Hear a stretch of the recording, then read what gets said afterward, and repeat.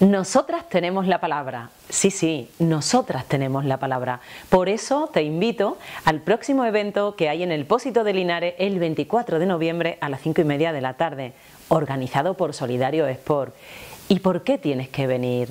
Yo te acompañaré en vídeo, desde allí leeré un poema, pero sobre todo hay grandes mujeres que están unidas, mujeres artistas, para conseguir un mundo mejor, para, para para estar unidas por una fuerza mayor, que es la fuerza en femenino y la, posibilidad de cambiar.